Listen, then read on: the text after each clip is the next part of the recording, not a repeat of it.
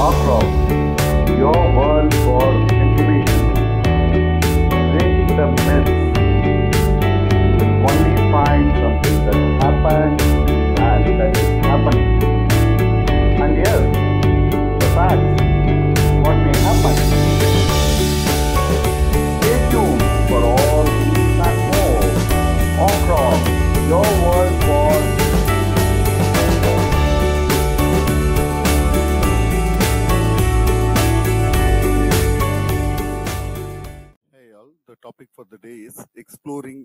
Sabarimalai Sathan beyond the myths. Before we get into the video, thanks to all those who have subscribed to my channel and are watching my videos regularly.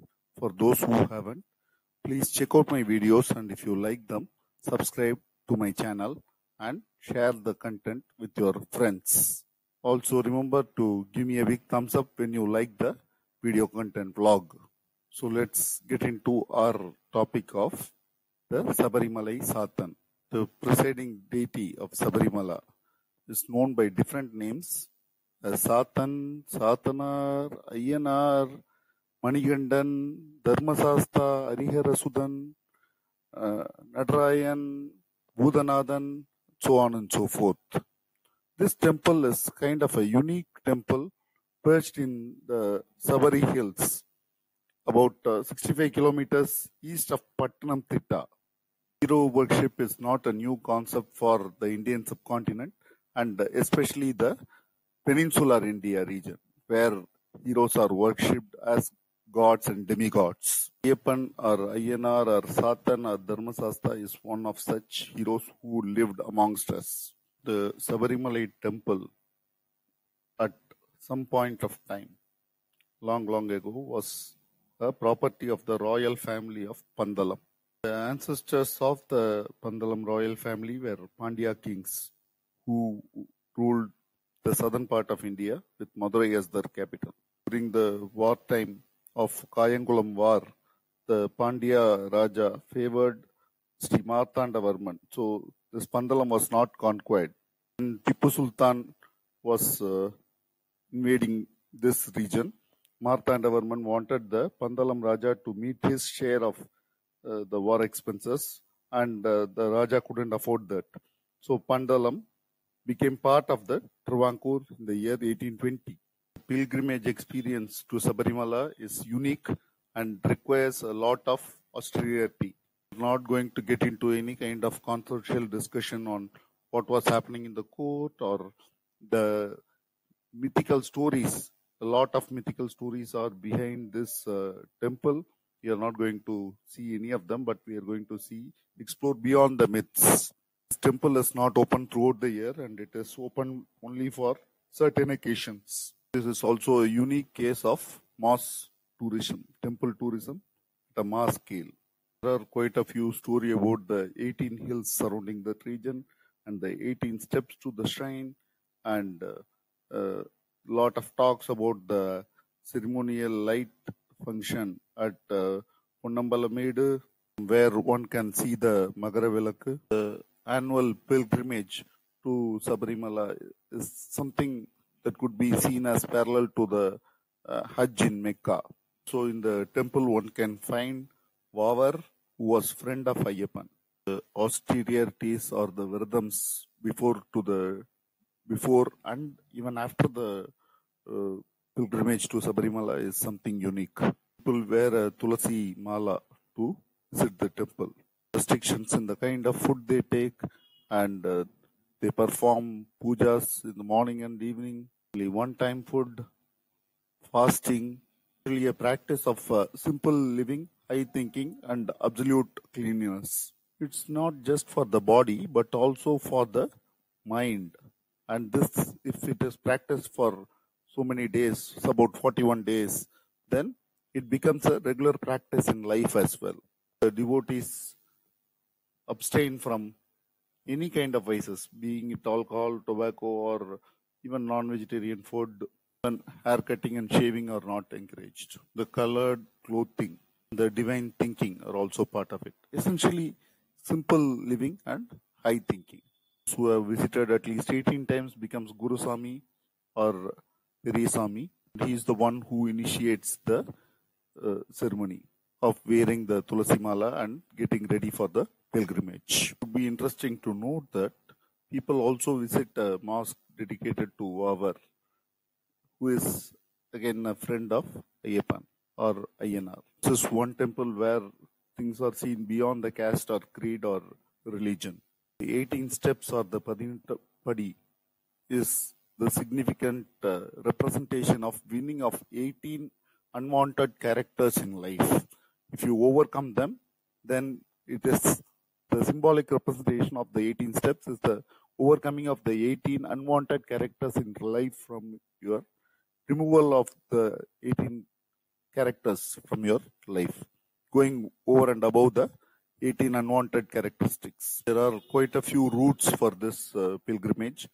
The big route or the Peruvali starts from Erimeli to Perur to Irumbunikara, Arasadi quota காலைக்கட்டி அழகா அழுதாநதி கல்லிடும் குன்று இஞ்சிப்பாறை கோட்டை உடும்பாறை கோட்டை முக்குழி கரியலாந்தோடு கரிமலை உச்சி வலியானை வட்டம் சிரியானை வட்டம் பம்பை also there are transportation till Pamba and from Pamba, you can walk 4 kilometers into the dense forest which is a quite a unique experience. Other routes as well where from where you can uh, explore. One is from the Theni district Kumuli and Tekadi side also there is a way from where one can explore this site. Has to wear a irumudi to walk over the 18 steps First five step represents the five senses of the body. This is the nature of one's body is represented by the first five steps. Then the next eight steps uh, give a lot of thing to the negative uh, feelings. The next eight steps. Then the final three steps it's overcoming the ignorance. Inner meaning of the holy steps has more than this there are different versions and there are different beliefs of this 18 steps and the 18 uh, characteristics. You ever wondered why the worship of uh, this uh, Sathan is very different from the worship of other gods? This is true with every guardian folk deities of Tamil Nadu. Not just Tamil Nadu, the parts of Kerala and Karnataka, and also in some Southeast Asian countries, this Ayyanar uh, worship is in vogue. Part of the animistic and Aaseevagam uh, religions. Village gods usually uh, seem in gigantic and colorful statues with horses, riding horses or elephants is so common in the villages of southern Tamil Nadu. Reference to Ayyappan is found in the Trivalla copper plates of the 12th century from Kanyakumari temple inscriptions. As far as the Tamil religion is concerned, Sabarimala was a shrine long back, even before the 1940s. The practices and myths of the stories uh, gives rise to a kind of a modern religious thought. It is more of a tribal worship which is still followed in the Sabarimala. This tribal god is none other than the Ayyanar of the or the village deities of Tamil Nadu. The horse mount of Ayyanar is still visible in the flagstaff of Sabarimalai temple. You can also find Karupasamy uh, worship in the Sabarimalai. Unknown and undated myths that it is being uh, consecrated by Parshurama or by in the Kollam era is unknown. And this is true with most of the Indian scriptures and temples. Who are the Tamil devotees consider Ayyappan as Ayyanar, whether it is accepted or not. And this has been a practice since ages and uh, it, the way the temple has organized itself may have changed, but the devotees believe that it is a tradition that has come a long way. Uh, these uh, references need to be cross-verified.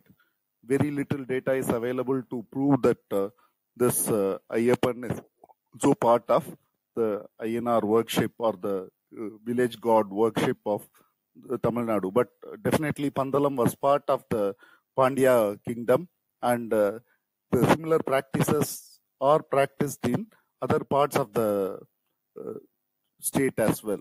Although the temple has undergone a lot of cultural changes and Sanskritization, the local village uh, deities and the Ayyappan seems to share some kind of relationship. If not in the near future, it was in the past. Journey to Sabarimala is not just a religious worship or uh, thing. It is a true spiritual journey where one tries to leave out all his vices and try to understand his own uh, self.